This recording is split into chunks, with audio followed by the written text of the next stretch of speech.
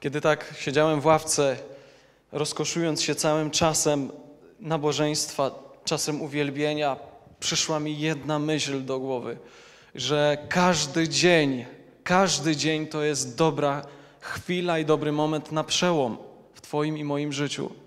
Każdy dzień, bez wyjątku, nie ma takiego dnia, na który byśmy musieli patrzeć y, z perspektywy przyszłości. Tak, to będzie kiedyś dzień, kiedy będzie przełom. Dzisiaj jest czas. Dzisiaj jest czas. Dlaczego? Ponieważ Pan jest cały czas z nami. Każdego dnia jest z nami.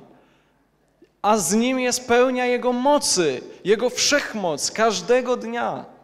Więc i dzisiaj może być czas na przełom w Twoim życiu, na przełom i zmianę w Twoim życiu. Przecież każdego razu przed nabożeństwem słychać takie oto modlitwy. Panie, spraw, abyśmy z tego miejsca już wyszli nie tacy sami, ale inni. To jest modlitwa płynąca z wiary. Wiara w sercu pobudza takiego modliciela do tego, aby modlić się zgodnie z Bożą wolą. Spraw nam przemianę, Panie. Spraw nam przemianę, Panie. Myślę, że każdy dzisiaj na tym miejscu jest świadom tego, że potrzebuje zmiany. Stale, stale przemiany. Nikt z nas siedzący na tym miejscu chyba nie może powiedzieć, że jest już doskonały. Pamiętam y, dwa tygodnie temu, i wierzę, że i wy pamiętacie, dwa tygodnie temu usługiwałem na temat Józefa, na temat jego życia. Porównywałem go z y, Panem Jezusem. Widzieliśmy wyraźnie, że on doznał przemiany, że jego życie na tyle się zmieniło pod wpływem Bożego Ducha, pod wpływem obecności Bożej, że był podobny do Chrystusa. O nim mogliśmy czytać. Czytamy o nim w Bożym Słowie tak wiele, tak wiele podobieństw dotyczących Pana Jezusa. Ale dzisiaj, na dzisiejsze zwiastowanie, do dzisiejszej usługi zostałem pobudzony, aby przypatrzyć się życiu kolejnego młodzieńca. Ja nie wiem, czy to tak przed obozem mnie tak y, Bóg kieruje w stronę młodzieży, tej biblijnej. Nie wiem, w każdym razie chciałbym, abyśmy otworzyli pierwszy list Jana, rozdział pierwszy, wiersze od 1 do 4. Wprawdzie list ten pisany był już przed, przez sędziwego człowieka, przez Jana, apostoła Jana, który w sędziwości pisał ten list. Już jako staruszek, już jako e, zmierzający do tej obiecanej krainy, patrzący już bardziej w górę niż na to, co jest na ziemi, pisał list. Pierwszy list Jana, rozdział pierwszy, od wiersza pierwszego do czwartego. Przeczytamy większą część tego listu, natomiast celem wprowadzenia chciałbym, abyśmy przeczytali te pierwsze cztery wiersze. Tą jakby zapowiedź. On się przedstawia. Apostoł Jan przedstawia się. Mówi tak. Co było od początku, co słyszeliśmy, co oczami naszymi widzieliśmy, na co patrzyliśmy i czego ręce nasze dotykały, o słowie żywota, a żywot objawiony został i widzieliśmy i świadczymy i zwiastujemy wam ów żywot wieczny, który był u Ojca, a nam objawiony został. Co widzieliśmy i słyszeliśmy i to wam zwiastujemy, abyście i wy społeczność z nami mieli, a społeczność nasza jest społecznością z Ojcem i Synem Jego, Jezusem Chrystusem. A to piszemy, aby radość nasza była pełna. Powiedziałem, że apostoł Jan przedstawia się tu w jakiś określony sposób. Oczywiście y, na początku przedstawia sens całego listu, treść całego listu o słowie żywota. O to, o tym, o czym dotykaliśmy, o tym, czego, na co patrzyliśmy, o tym, czego doświadczaliśmy, czego słuchaliśmy, czego oczami naszymi, y, co oczami naszymi widzieliśmy. Mówi o słowie żywota. Ale ja w tym, w tym krótkim wersecie, w tym krótkim fragmencie dostrzegam coś więcej. Apostoł Jan był człowiekiem doświadczonym. On doświadczył czegoś.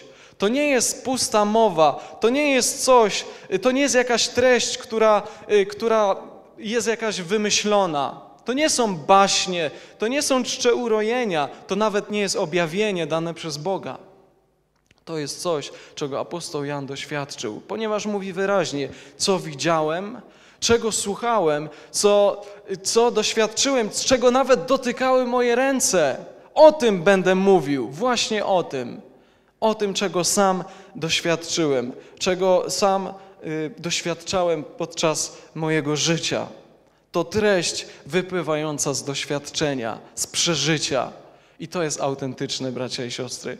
Jeśli my chcemy dać coś światu, jeśli my chcemy dać coś Kościołowi, tak jak słyszeliśmy o zbudowaniu, sami musimy być wewnętrznie zbudowani, sami musimy coś mieć w sobie. Życie rodzi życie. Nie można śmiercią zrodzić życie. Nie można y, pustką wypełnić czyjeś inne, czyjąś inną pustkę. Tylko życie zrodzi życie, tylko napełnienie może zrodzić napełnienie. A więc apostoł Jan jest człowiekiem doświadczonym, człowiekiem, który przeżył coś i to coś chce dać Kościołowi. To coś, co, czego sam doświadczył, chce przekazać innym. To jest autentyczność, prawdziwe przeżycie. Okazuje się, że nie tylko sama wiedza, ale także i praktyka. Ponieważ jak ja to odkrywam, sama wiedza y, prowadzi na sąd. Sama tylko wiedza prowadzi na sąd. Pan Jezus powiedział: Sługa mój, który zna moją wolę, wie, co ma robić, a nie czyni, odbierze wiele razów. Odbierze wiele razów. A więc sama wiedza może poprowadzić człowieka na sąd. Ale wiedza, która połączona jest z praktyką, jest błogosławieństwem. Jest błogosławieństwem. Tak samo Pan Jezus powiedział: Kafarnaum, Tyr, Sydon, wam będzie o wiele ciężej w dniu sądu niż nawet Sodomie i Gomorze. Dlaczego? Ponieważ wy widzieliście, ponieważ wy doświadczyliście, ręce wasze nawet dotykały tego, a inni marzyli o tym dniu, aby to oglądać, a jednak nic z tym nie zrobiliście. A jednak nie, nie, nie, nie stało się to praktyką w waszym życiu. Wiedzieliście, nie uczyniliście. Tak bliskie, tak bliskie było zbawienie. To zbawienie wręcz pukało do drzwi ludzi, a oni nie otworzyli. Po co wyliczasz ustawy moje? Któryś wtorek, pamiętam, usługiwałem na temat przykazań i mówiliśmy o tych chrześcijańskich bezbożnikach, do których Pan mówi: Po co wyliczasz ustawy moje? Po co one są nawet na ustach Twoje, na, na Twoich ustach? Po co sobie zajmujesz czas, jeśli tego nie wypełniasz? Sama wiedza nie jest, nie jest błogosławieństwem. Dopiero połączona z praktyką. Dlaczego o tym mówię? Ponieważ chcę nakreślić tło. Chcę, chcę jakby wskazać na Jana, który nie był pustym gadułą. Nie mówił coś od rzeczy, coś, co nie zgadza się z jego życiem. Mówił wyraźnie o tym, czego sam doświadczył, czego sam, na co sam patrzył, co sam oglądał i czego dotykał. Miłość czynem jest, jak powiada Biblia. A więc nie możemy tylko mówić sobie słodkich słówek w zborze. Nie, to nie jest dobrą rzeczą tylko mówić i mówić. Miłość czynem jest. A więc po czynach jakby można okazać miłość. Zresztą Pan Jezus powiedział tak: Kto mnie miłuje, ten słowa mego przestrzega, przykazań moich przestrzega. W taki sposób jesteśmy w stanie okazać Panu miłość poprzez wierność. Przecież miłość to y, można zrównać z wiernością. Jeśli ktoś kocha żonę, nigdy jej nie zdradzi. Jeśli ktoś miłuje brata i siostrę, nigdy nie będzie chciał jej zaszkodzić i jemu zaszkodzić. Miłość czynem jest.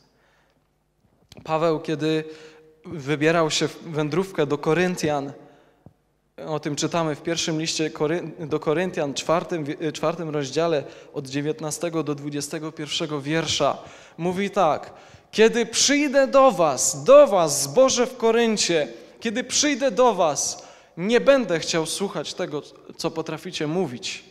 Nie będę chciał nasłuchiwać się tego, o czym mówią Wasze usta, ale chcę zobaczyć to, co potraficie uczynić lecz z ich mocą chce się zapoznać. Biblia Tysiąclecia mówi, lecz chce zapoznać się z tym, co potrafią uczynić. To było ważne dla apostoła Pawła. Zobaczyć, co potrafią uczynić, a nie usłyszeć, co potrafią mówić. Mówić można wiele. A więc Jan, Jan zdecydowanie czegoś doświadczył. I on jakby zaczyna swój list, mówi: Uwaga, bracia i siostry, będę mówił o czymś, czego sam doświadczyłem. Nie będę chciał z pustki próbować nalewać, ale z pełni, która została mi dana, będę chciał z wami się dzielić czymś, czego sam doświadczyłem. Dlatego chciałbym, abyśmy zwrócili uwagę na tego apostoła, Jana, tego najmłodszego z apostołów, który został powołany w młodzieńczym wieku. Młody, że tak powiem, i zaraz spróbuję to wytłumaczyć, buntownik i impulsywny człowiek. Nie wiem, czy znaliście go z tej strony, ale myślę, że poznacie, jeśli do tej pory nie znaliście. Otwórzmy sobie y, Ewangelię Łukasza, 9 rozdział, 54 wiersz. Zanim jednak wczytamy się w tą historię, y, przypomnę, w jakich okolicznościach został powołany ten młodzieniec, apostoł Jan. Kiedy Pan Jezus przyszedł nad jezioro Genezaret, nad jezioro galilejskie, zobaczył Szymona, zobaczył jego brata Andrzeja, powiedział: Pójdźcie za mną. I oni, nie oglądawszy się za siebie, nie, nie patrzący na, na to, co było za nimi, nie patrzący na być może poszerzający się majątek i biznes, postanowili pójść za tym, który ich powołał. I Pan Jezus, y, kroczywszy dalej, spotyka Jakuba i Jana, synów Zebedeusza, braci Jakuba i Jana i także ich powołuje. Mówi, pójdźcie za mną. I oto ci dwaj synowie, Jakub i Jan, zostawiają swojego ojca właśnie w momencie, kiedy wspólnie razem naprawiali sieci. Zostawiają go, mówią, ojcze, idziemy. Czy ci się to podoba, czy nie? Idziemy, ponieważ wzywa nas Pan. Ja myślę, że y, ojciec, nie wiem, to jest moje tylko przypuszczenie, mógł być dumny ze swoich synów, że postanowili pozostawić jednak, jeśli był wierzący, jeśli uwierzył po drodze, mógł być dumny ze swoich synów, że odpowiedzieli na wezwanie, że odpowiedzieli na wezwanie Zbawiciela. Iluż, iluż jest takich ludzi dzisiaj, którzy pomimo wielokrotnego nawoływania Pana i Zbawiciela, jednak się opierają i nie chcą iść za nim. Jednak ci dwaj postanowili impulsywnie, w tym samym momencie idziemy, zostawiamy sieci, nie wiemy, czy mamy coś na drogę, nie mamy jakichś zapasowych szat, ale idziemy za Panem. I oto czytamy dalej, właśnie w otwartym fragmencie Łukasza 9:54. Czytamy historię, która mrozi krew w żyłach Czytamy historię o dwóch właśnie synach Zebedeusza, Jakubie i Janie, którzy już jakiś czas chodzą z Panem Jezusem, a jednak, a jednak dopuścili się takiego oto stwierdzenia. 9,54. Może od 51 wiersza będziemy czytać, aby dla kontekstu zrozumieć całą sytuację. I stało się, gdy dopełniły się dni, kiedy miał być wzięty do nieba, i postanowił pójść do Jerozolimy, że wysłał przed sobą posłańców, a ci w drodze wstawili, wstąpili do wioski samarytańskiej, aby mu przygotować, gosp, y, przygotować gospodę. Lecz nie przyjęli go, dlatego że droga jego prowadziła do Jerozolimy. A gdy to widzieli uczniowie, Jakub i Jan, właśnie oni to zauważyli, Zauważyli, że miasto jest nieprzychylne, że miasto nie chce przyjąć Zbawiciela, że nie chce przyjąć Mesjasza. Jak to jest możliwe, że oni nie przyjmują Go? Rzekli, Panie, czy chcesz, abyśmy słowem ściągnęli ogień z nieba, który by ich pochłonął, jak to i Eliasz uczynił? O, jakże znają Biblię. Jakże znają Boże Słowo. Niesamowici ludzie pamiętają, że Eliasz sprowadził ogień na ludzi i teraz cytują tą historię. Panie, pamiętamy tą historię. Może się ona powtórzy i dzisiaj. Ale on, obróciwszy się, zgromił ich i rzekł. Jeśli do tej pory myśleliście, że najbardziej, e, jakby najba, największym Y, apostołem, jeżeli chodzi o y, napomnienia, był apostoł Piotr, to być może nie być prawda do końca, bo także im bardzo się oberwało. Ponieważ zgromił ich i rzekł: Nie wiecie, jakiego ducha jesteście. Albowiem syn człowieczy nie przyszedł zatracać dusze ludzkie, ale je zachować. I poszli do innej wioski. Pozwólcie, że przy, przeczytam Przeczytam w, y, w, nowym przykładzie, w nowym przekładzie ten oto wiersz, ponieważ on jest niezwykle wymowny. Nie do końca jesteśmy w stanie zrozumieć y, tego, tej wypowiedzi Pana Jezusa z naszego przekładu. Pozwólcie, że to więc przeczytam y, z nowego przekładu. Jakub i Jan w obliczu takiej niechęci zwrócili się do Jezusa. Panie, czy mamy rozkazać, aby ogień spadł z nieba i ich pochłonął? Lecz on obrócił się i skarcił ich. Nie wiecie, powiedział, że już nie powinniście postępować w tym duchu. To już jest czas na zmiany. To już nie jest pora, aby postępować dalej tak, jak postępowaliście. Syn człowieczy nie przyszedł niszczyć życia ludzkiego, ale je ratować, po czym skierowali się do innej wsi.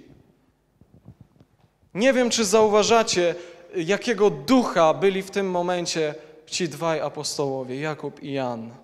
Byli gotowi na zgodę Pana Jezusa wznieść swoje ręce, wzywać ognia z nieba, aby pochłonął całą wioskę. Dzieci, rodziny, kobiety, mężczyźni byli gotowi z zimną krwią patrzeć, jak płoną w tym momencie, ponieważ, nie, zg- ponieważ oni nie przyjęli Jezusa Chrystusa. Przypomina mi się ta niechlubna historia Kościoła. To jest ten sam duch, kiedy władze Kościoła zadecydowały, średniowiecznego Kościoła zadecydowały, że oto będą palić na stosach, zabijać, przeżynać piłą, mordować ludzi, którzy nie przyjmują Ewangelii. To jest ten sam duch. Duch inkwizycji, duch śmierci, duch mordu. I ktoś dobrze kiedyś powiedział, że nigdy jeszcze nikt tak wiele niewinnej krwi nie przelał, jak wtedy Kościół. Nigdy się to w historii świata nie powtórzyło. Tyle niewinnej krwi ja- nie przelał nigdy nikt, nawet Hitler, nawet Stalin, jak właśnie średniowieczny Kościół. Ale oto klaruje nam się sytuacja, charakter tych młodych ludzi, młodych e, apostołów Jakuba i Jana. Zabić, zatracić dzieci, byli gotowi na to, ponieważ nie przyjęli nauki. Zabić całą wioskę, niech mają co chcą. Y, Marek trzeci rozdział, 17 mówi tak, że Pan Jezus, widząc ich charakter, widząc to, jakim, jakiego są tepe, temperamentu, nazwał ich bardzo specyficznie. Nazwał ich bardzo specyficznie. On widział, że oni palą się do wszystkiego, że są impulsywni, często być może nerwowi, że może nie takie y, słowa z ich ust padają, jakie powinny. Nazwał ich bardzo wymownie. W Ewangelii Marka w trzecim rozdziale, w 17 wierszu napisane jest tak, że nazwał ich Boanerges, czyli synowie gromu. Oni byli synami gromu. W nich palił się ten ogień, w nich palił się być może nie ten dobry ogień, który powinien. Dlatego Pan Jezus ich tak nazwał. Synowie gromu. Oni mieli temperament, oni mieli charakterek. Mieli także nietakt. Cała ich rodzina miała jakiś szczególny nietakt. Otwórzcie sobie Ewangelię Mateusza, 20 rozdział, 20 wiersz. Ponieważ czytamy historię w tym momencie o matce synów Zebedeusza, a więc o żonie Zebedeusza, matce Jakuba i Jana. To jest taka wyjątkowa historia, ponieważ mamy tak bardzo troszczą się o swoje dzieci, że chciałyby wszystkiego, co najlepsze dla swoich dzieci. To jest, to jest oczywiste. Ale czytamy tak. Wtedy przystąpiła do niego, do Pana Jezusa, matka synów Zebedeuszowych, a więc Jakuba i Jana, z, y, synami swoimi, a więc oni wspólnie zgodzili się razem ze sobą, cała rodzinka. Y, złożyła mu pokłon i prosiła go o coś. O co go prosiła? Ponieważ Pan Jezus jej odpowia- odpowiedział, czego chcesz? Rzecze mu, powiedz, aby ci dwaj synowie moi zasiedli jeden po prawicy, a drugi po lewicy twojej w królestwie, w królestwie twoim. A Jezus odpowiadając rzekł, nie wiecie o co prosicie, czy możecie pić kielich, który ja pić będę? Mówią mu, możemy. I dalej konwersacja y, trwa, i Pan Jezus, zwieńczając tą rozmowę, mówi: To nie moja rzecz stawiać kogoś po prawicy czy po lewicy, ale popatrzcie na sytuację. Czyż nie jest komiczna? Czyż nie wypływa na- do nas taka, nie wpływa taka myśl, że coś im się być może pokręciło, coś być może nie jest tak. matka chciała tak dobrze dla swoich synów, że prosiła go wręcz nietaktownie o rzecz, o którą być może nie powinna prosić. A więc było w nich, e, było w nich jakby, był w nich ten duch szukania swego. Chcieli mieć posadkę u Pana. Dobrą posadkę po, prawi, po prawicy i po lewicy. Natomiast Pan Jezus wiedział, że jeśli ktoś chce być uczniem Jego, jeśli ktoś ma zasiąść kiedyś na tronach, tak jak mówi objawienie, to będą to zwycięzcy. To będą to zwycięzcy.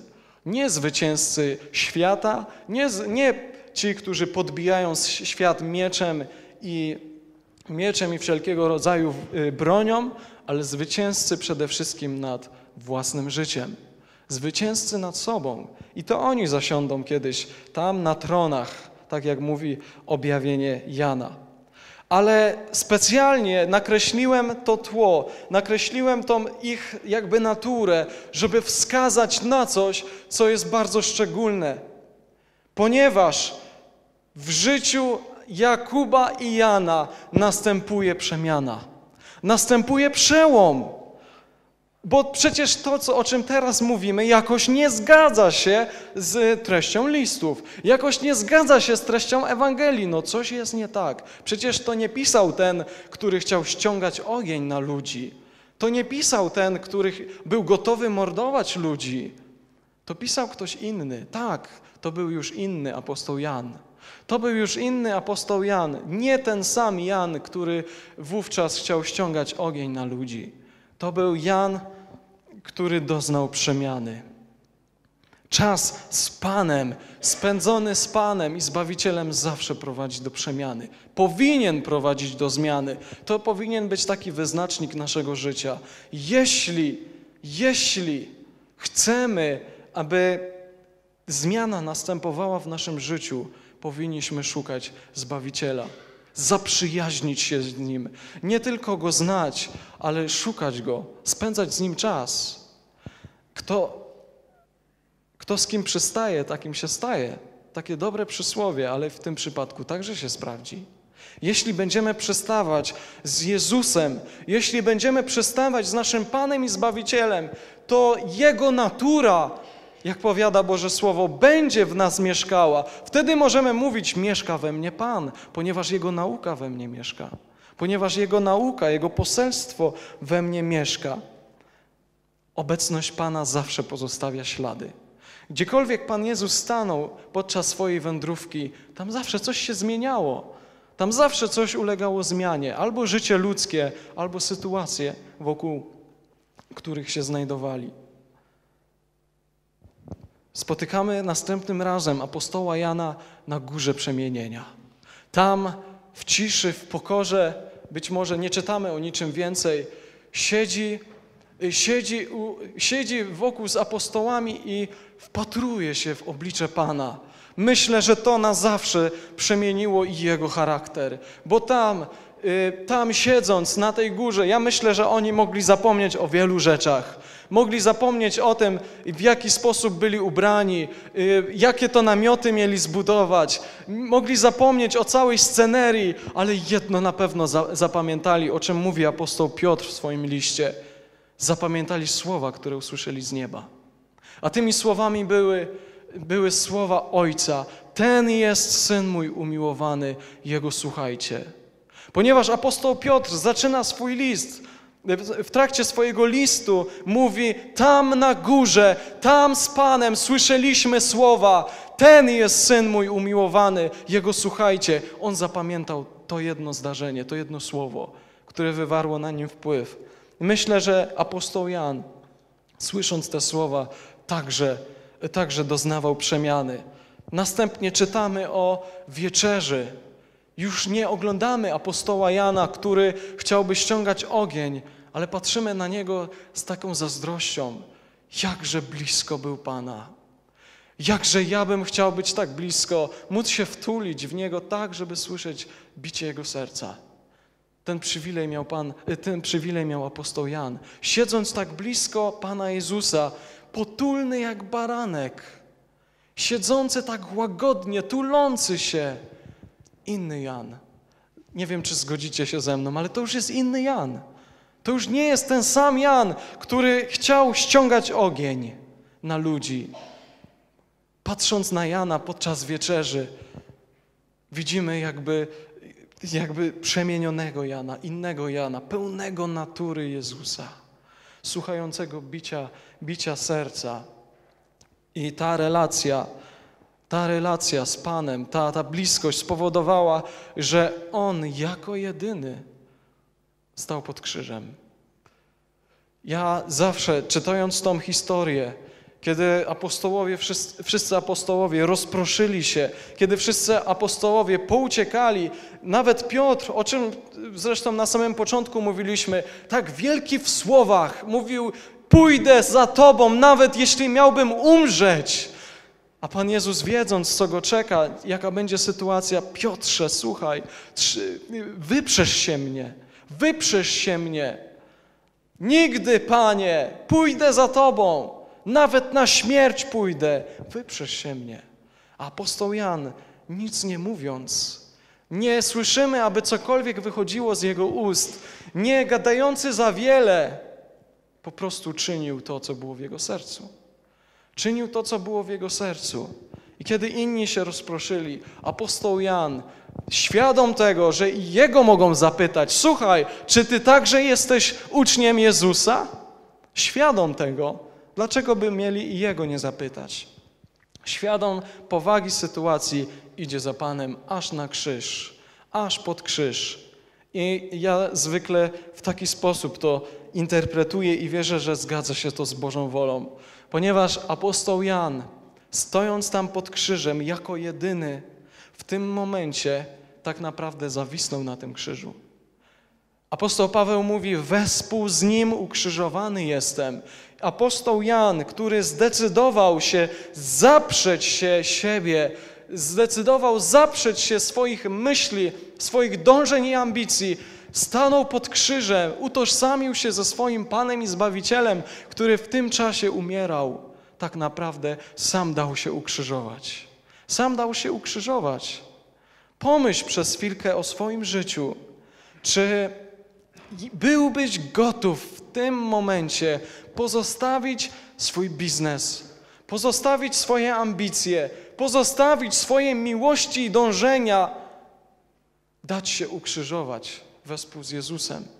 Pójść tam, do miejsca trupiej czaszki, do miejsca, które nazwane jest Golgotą, stanąć pod krzyżem i, powie, i, i dać się jakby ponieść Panu, utożsamić się z Jego śmiercią. To jest mój Pan i Zbawiciel, nie przegrany, to nie jest przegraniec, to nie jest jakiś pokonany, ale wygrany. To jest zwycięzca. Ja utożsamiam się z Jego śmiercią. Myślę, że apostoł Jan był gotowy nieść krzyż i udowodnił nam, czytelnikom, nam wierzącym, udowodnił nam to, stając pod krzyżem. I jako jedyny był gotowy zaopiekować się matką Pana Jezusa na wezwanie, na wezwanie które Pan Jezus mu y, do niego kierował. Stojąc przed, pod krzyżem, dał się ukrzyżować.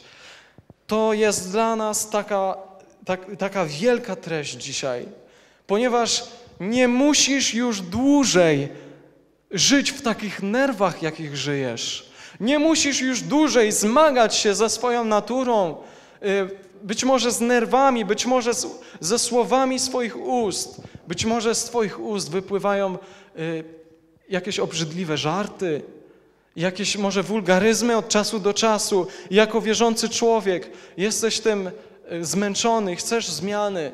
To jest dla nas nadzieja, ponieważ jeśli Jan, jeśli Jan doznał tej przemiany, jeśli on mógł przedtem wołać, zabij ich, ściągniemy ogień, niech umierają, niech płoną na naszych oczach, a później czytamy, miłujcie się nawzajem, miłujcie się, miejcie miłość. Jeśli on mógł doznać tej zmiany, tej przemiany, to także i my. To także i ty i ja, bracie i siostro. Nie musimy dalej być tacy nerwowi.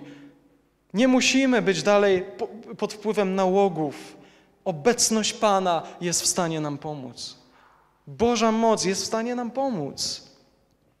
Ale to jest koszt. Musimy zapłacić cenę czasu i przebywania z Panem.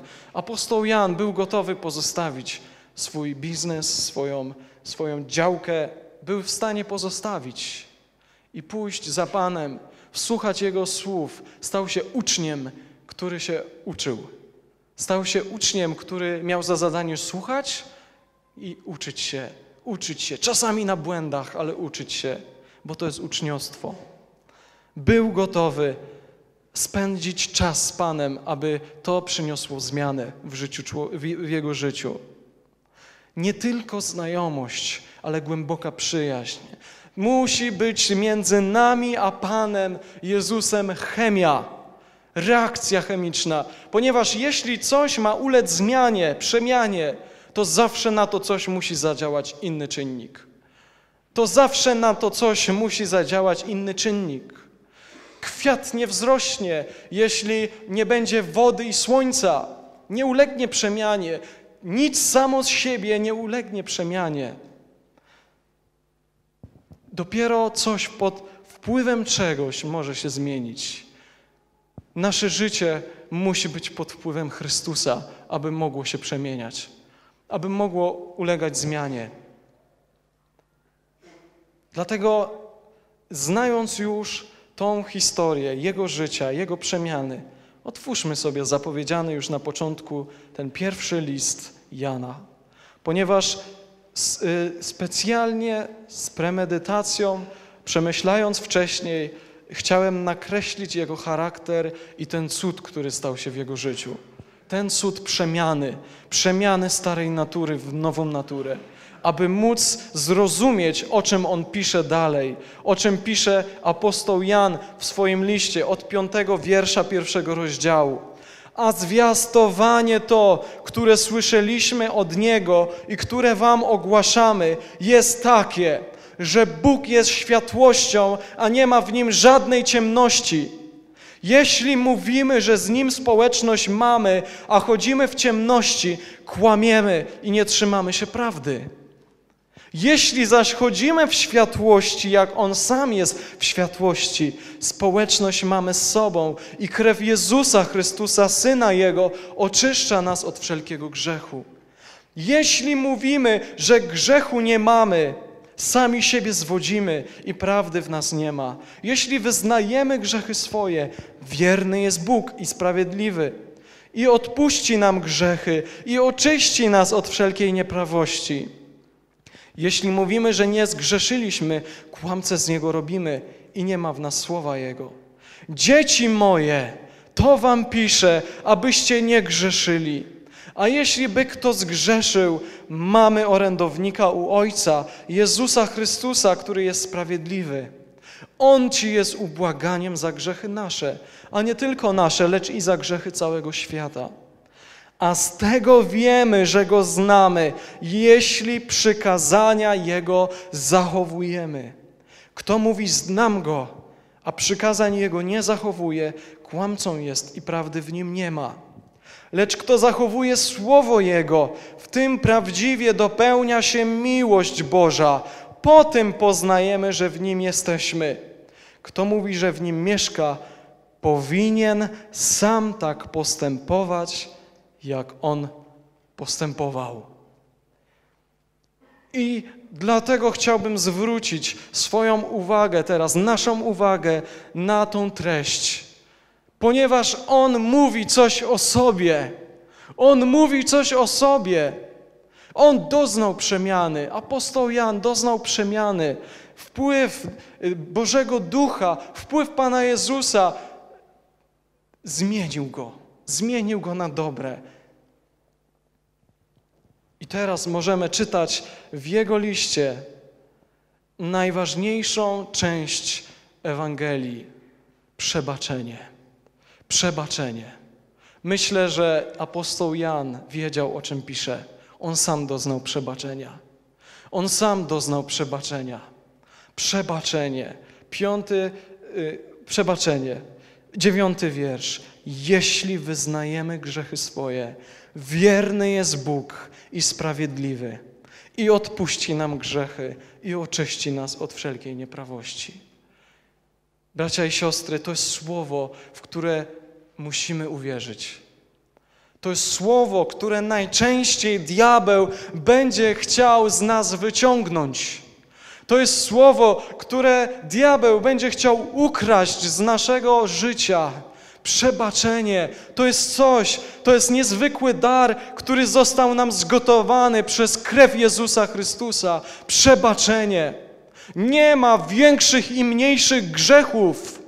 Jeśli ktoś ukradł grosz, to tak jakby ukradł milion. Jeśli ktoś cudzołożył z inną kobietą, to tak samo jakby popatrzył z porządliwością na inną. Jeśli ktoś zabił człowieka, to tak samo, tak samo zgrzeszył ten, który popatrzył na drugiego i znienawidził go w sercu. O tym mówi Pan Jezus w Ewangeliach. Nie ma większego i mniejszego grzechu. To jest też nadzieja dla nas. Nie ma tak wielkiego grzechu w Twoim i moim życiu, aby nie mógł być przebaczony.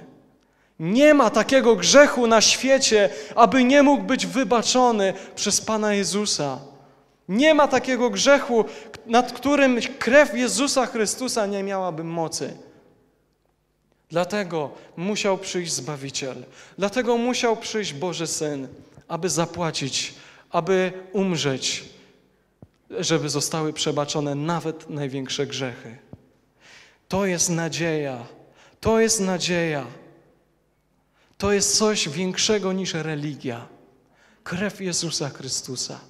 To jest coś większego niż religia, niż przyzwyczajenie. Religia ma to do siebie. Zresztą ona już, na, już narodziła się w Edenie, tam w raju, kiedy zgrzeszyli ludzie, kiedy zobaczyli, że są nadzy, postanowili się zakryć, okryć, zakryć swoją nagość. Religia to jest zakrywanie czegoś, co jest w środku. To jest przykrywanie, ciągła przykrywka. To tak samo działało jak w Starym Przymierzu. Ciągle ofiary, którym były, były tak, takim jakby płaszczem, który ciągle zakładali. Można mieć brudną koszulę, ale ciągle zakładać marynarkę i tej koszuli nie widać. Ale dopiero krew Jezusa Chrystusa zmywa grzech, oczyszcza i już ta koszula nie jest brudna. Już nie musi być brudna.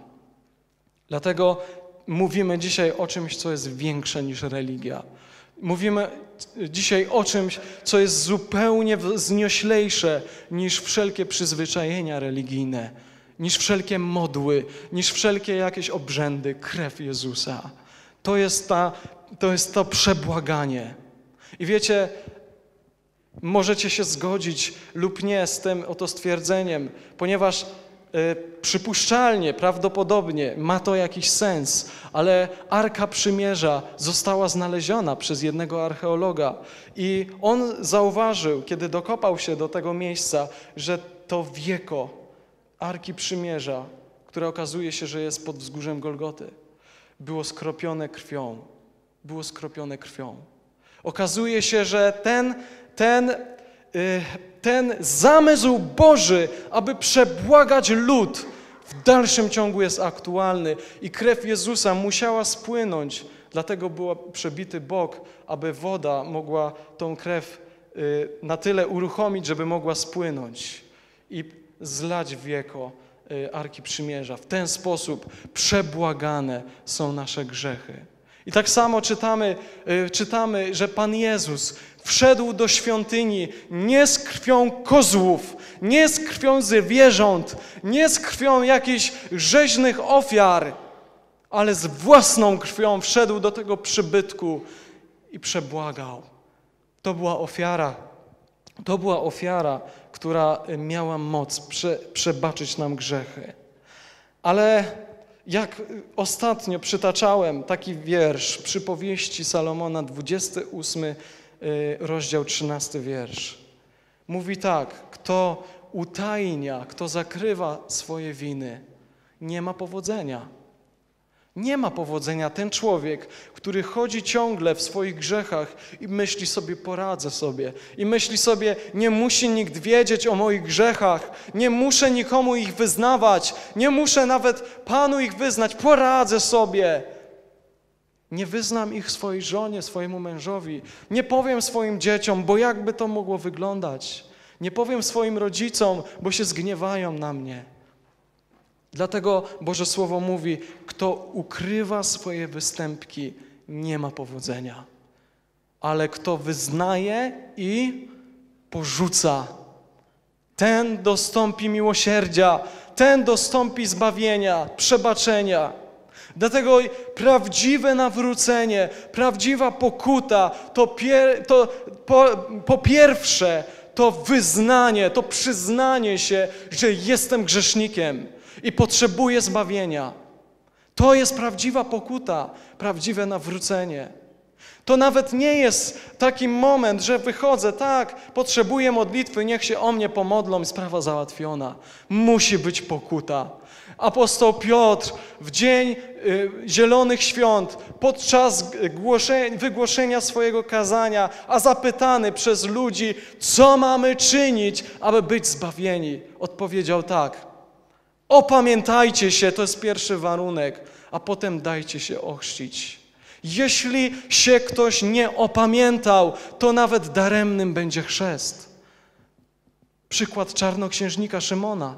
On nie opamiętawszy się wcześniej dał się ochrzcić. Jego natura dalej, dalej go prowadziła. Chętny zysku i pieniędzy, z, zupełnie zaprzedany pieniądzom. Dlatego opamiętanie to jest fundament, to jest fundamentalna sprawa. Wyznać grzech Bogu, a jeśli trzeba i ludziom. Pan Jezus mówi: Jeśli miałbyś złożyć ofiarę, jeśli miałbyś przyjść swoje, ze swoją ofiarą przed Boży tron, a brat by miał coś przeciwko tobie, zostaw tą ofiarę. Zostaw, zostaw tą ofiarę. Ponieważ, ponieważ prorok Amos mówi, jeśli w taki sposób będziemy przychodzić, to Pan mówi tak, Niech zamilknie ten wrzask. Nie mam upodobania w świętach. Już zbrzydły mi wasze sabaty. Dlatego jeśli chcesz złożyć Bogu ofiarę, a jest niepojednanie w Twoim sercu z kimkolwiek, zostaw tą ofiarę. Ona w tym momencie nie jest aż tak ważna, jak to pojednanie. Ponieważ nie ta ofiara czyni Cię chrześcijaninem i y, uczniem Jezusa, ale to pojednanie. To jest nauka Boża. Natura Chrystusa ważniejsza niż ofiary. Miłosierdzia chce, a nie ofiary, mówi Pan w, swoich, w swoim słowie. Inny warunek przebaczenia grzechów jest podany w modlitwie pańskiej. I chciałbym na to zwrócić jeszcze uwagę. Mateusz 6, 9 do 15. W ogóle to przebaczenie, to ten fakt przebaczania y, grzechów, jakże bardzo jest obecny w naszym życiu. Któż jest taki dzisiaj na tym miejscu, kto by mógł powiedzieć: Ja nie potrzebuję przebaczenia? Ja ciągle potrzebuję przebaczenia. I to słowo z y, listu apostoła Jana: Wierny i miłościwy jest Pan, i sprawiedliwy jest Pan, dlatego odpuści Twoje winy, przebaczy i oczyści z wszelkiej nieprawości. Ciągle muszę sobie to powtarzać. Ciągle muszę sobie to powtarzać. I przychodzi diabeł i mówi: Za wielki jest Twój grzech. Już Bóg ci nie przebaczy, ponieważ już za wiele zrobiłeś. On już cię nie ścierpi, ponieważ ciągle i ciągle robisz to samo. Ale wtedy muszę przyjść ze słowem na ustach: Wierny i sprawiedliwy jest Pan, przebaczy mi moje grzechy, jeśli mu to wyznam, i oczyści mnie z wszelkiej nieprawości. Mateusz 6, od 9 do 15. A wy tak się módlcie. Ojcze nasz, który jest, któryś jest w niebie, święć się imię Twoje Przyjdź królestwo Twoje, bądź wola Twoja, jak w niebie, tak i na ziemi. Chleba naszego powszedniego daj nam dzisiaj i odpuść nam nasze winy, jak i my odpuszczamy naszym winowajcom. I nie wódź nas na pokuszenie, ale nas zbaw ode złego, albowiem Twoje jest królestwo i moc i chwała na wieki wieków. Amen. To jest modlitwa pańska. On polecił nam się w taki sposób modlić. Zapytany przez uczniów, jak mamy się modlić. Zawarł w tej modlitwie, jak, jak nad nią rozważałem, zawarł wszystko, co jest nam potrzebne. W tej jednej modlitwie. I skończywszy to, to pouczenie względem uczniów, tak się módlcie, jak zauważacie, dodaje pewną wzmiankę na sam koniec. To jest, mógłby powiedzieć o wszystkim, o każdej części tej modlitwy, a on zwraca uwagę na przebaczenie. Na przebaczenie. Według mnie y, to znaczy, że jest to jedna z najważniejszych części tej modlitwy. Jeśli Pan Jezus, skończywszy to pouczenie, mówi: Słuchajcie, bo jeśli odpuścicie ludziom, przecież ta, ta część modlitwy była w środku tej modlitwy. A jednak Pan do niej wraca i mówi: Bo jeśli odpuścicie ludziom ich przewinienia, odpuści i Wam Ojciec Wasz niebieski.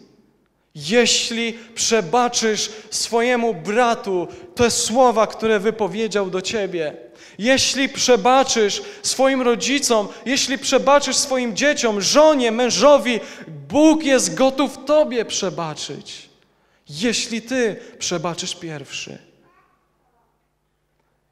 Pan nie ma podstaw do tego, aby wybaczyć nam grzech, jeśli my nie jesteśmy gotowi wybaczyć ich komuś innemu.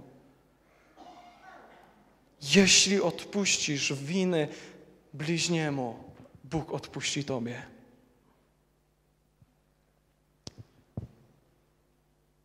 Życie podobne do Chrystusa. To wiersz trzeci i szósty pierwszego listu Jana. Życie podobne do Chrystusa. Ja w zasadzie mówiłem dwa tygodnie o tym samym, ale o innej postaci, o życiu podobnym do Chrystusa. Ponieważ apostoł Jan mówi tak: a z tego wiemy, że Go znamy, jeśli przykazania Jego zachowujemy. Kto mówi, znam Go, a przykazań Jego nie zachowuje, kłamcą jest i prawdy w nim nie ma. Lecz kto zachowuje Słowo Jego, w tym prawdziwie dopełnia się miłość Boża, po tym poznajemy, że w Nim jesteśmy. Nie po słowach poznamy człowieka, nawet nie po moich słowach sam jestem w stanie siebie poznać ale po tym, że trwam w Nim, jeśli trwam w Nim i te uczynki widać, to po tym poznamy, że trwamy w Nim. Lecz kto zachowuje Słowo Jego, w tym prawdziwie dopełnia się miłość Boża. Y, po tym poznajemy, że w Nim jesteśmy. Kto mówi, że w Nim mieszka, powinien sam tak postępować, jak On postępował. Prawdziwe to słowa, że Kościół powołany jest do dobrych uczynków. Prawdziwe to słowa. A grzech to zawsze jest przekroczenie prawa. Zawsze jest przekroczenie prawa. A więc prawo dalej jest aktualne. Jeśli mamy poczucie grzechu i przekroczenia prawa, to znaczy, że prawo jest aktualne, żywe. Niesamowitą postacią w dalszym ciągu jest dla mnie Józef. Ten Józef, który został sprzedany do Egiptu, on, kiedy został kuszony przez, e, był kuszony przez żonę Potyfara, być może była to piękna kobieta, na którą mógł zawiesić oko. Być może to była godna pożądania kobieta. Ale on wiedział jedno, że jeśli on pójdzie tam do łóżka z nią, jeśli będzie z nią współżył, nawet jeśli ona ma męża, zgrzeszy przeciwko Bogu i przeciwko mężowi tej żony. Jakże mógł to wiedzieć Józef, jeśli jeszcze wcześniej nie było przykazania nie cudzołóż? Skąd mógł to wiedzieć? Przecież jeszcze wcześniej, w tym czasie jeszcze nie było dekalogu. Skąd wiedział Józef, że współżycie z obcą kobietą, zamężną, w ogóle z obcą kobietą jest cudzołóstwem. Skąd mógł to wiedzieć? Ja wiem, skąd to wiedział. Jeśli Boża natura w nas mieszka, to Boże prawo automatycznie też w nas, w nas mieszka. Jeśli Boży Duch w nas mieszka, to my wiemy, co jest dobre, a co złe. Wiemy, co jest dobre, a co złe, ponieważ Boża natura w nas mieszka. Józef był pełen Bożej natury, pełen Chrystusa, nawet jeśli tego Chrystusa jeszcze nie było na ziemi, pełen Bożej natury. Żył jak Chrystus. Żyć jak Chrystus to żyć w pokorze, to żyć w uniżeniu, to żyć w uległości, we wzajemnej miłości, to żyć w służbie dla Boga. Bracia i siostry, myślę, że na tym zakończę dzisiejsze zwiastowanie. Ale chciałbym, żebyśmy na sam koniec wejrzeli w nasze serce. Ja jestem tak bardzo pobudzony, aby przekazać pewne słowo do być może niektórych z nas.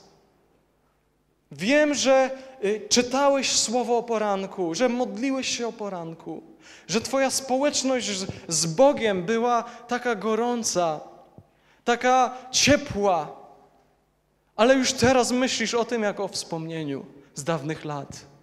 Sam posługiwałeś w darach, być może z Twoich ust wychodziły proroctwa. Uwielbiałeś jak nigdy, ale to już są wspomnienia. Chcę Ci powiedzieć, że Pan wzywa Cię do tej miłości, którą miałeś na początku. Przyjdź do pierwszej miłości, mówi Pan. Przyjdź, przyjdź do mnie, przyjdź do tej pierwszej miłości. O jakże spadłeś z wysoka. O jakże spadłeś z wysoka. Przyjdź na to miejsce. Z powrotem, przyjdź do mnie. Myślę, że powinniśmy wejrzeć na, e, w nasze życie także w kwestii przebaczenia. Mam też świadomość, że są osoby, które myślą w ten sposób: za wielki jest mój grzech. Za wielki jest mój grzech. Bóg już chyba nie ma cierpliwości do mnie. Już tak ostatkiem sił chodzę do zboru, ale kiedy przychodzi czas uwielbienia, modlitwy, nie mam nawet sił popatrzeć w górę, bo wielki jest mój grzech. Oto celnik pewnego razu przyszedł do świątyni. Przyszedł takim, jakim jest. Padł na kolana, nie miał nawet sił popatrzeć w górze. Nie czuł się godnie, aby zwrócić swoje oczy w górę i powiedział: Boże, przebacz mnie, bo jestem grzeszny. On miał tak wielką świadomość swojego grzechu. Na pewno kradł, na pewno oszukiwał, ponieważ był tego świadomy. I przyszedł do Pana takim, jakim był. Powiedział: Boże, ja już nie mam sił dla samego siebie. Ja już nie mam sił, nie radzę sobie. Jestem grzesznikiem. Już po raz tysięczny popełniam ten sam błąd.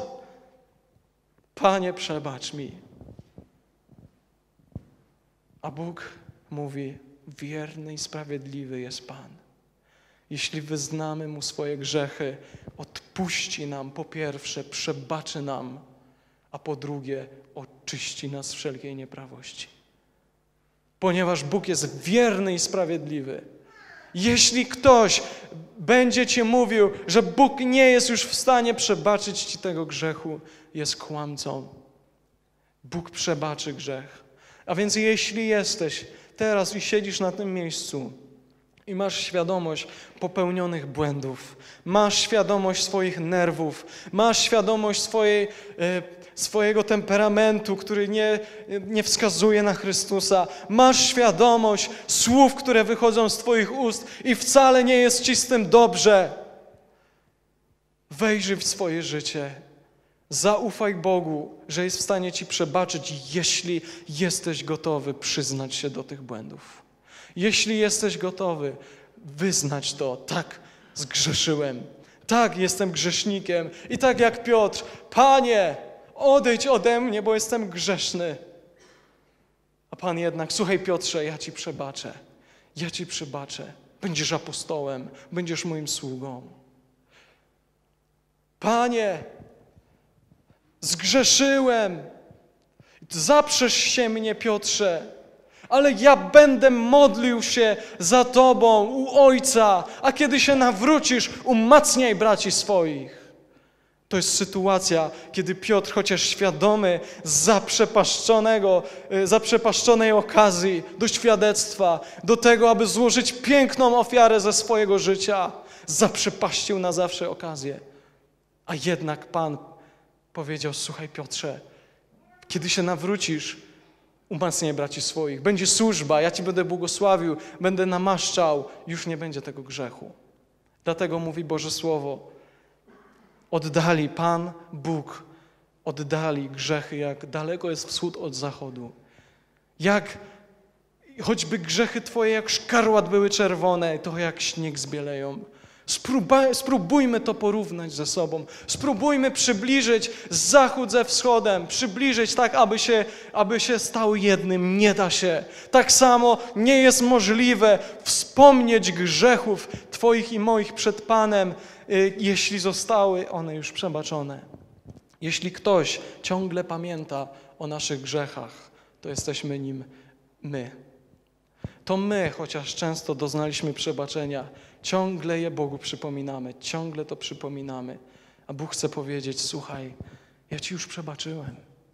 Wyznałeś mi te grzechy, pokutowałeś, przebaczyłem. Idź dalej, niech cię to nie krępuje, niech cię to nie y, wstrzymuje, idź dalej. Także jeśli jest ktoś w takim, w takim oto miejscu dzisiaj, wejrzyj w swoje życie. Tak jak powiedziałem na początku, dzisiaj może być czas na zmianę. Może być czas, aby to się zmieniło, bo, ponieważ Pan jest z nami. Dlaczego miałby dzisiaj nie służyć Kościołowi, skoro tak jest napisane, że będzie służył przebaczeniem, będzie służył uwolnieniem, będzie służył uzdrowieniem? Pan i sługa jest pośród nas. On będzie czynił rzeczy. Halleluja.